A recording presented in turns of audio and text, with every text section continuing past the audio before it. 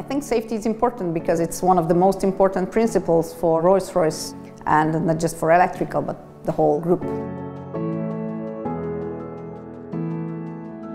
To work with the sustainable products and the energies, actually it means the future for my children, for me. So I'm an environmental engineer and it means a lot to me to, to provide help uh, in a company which tries to make sure that we actually have a future on this uh, planet.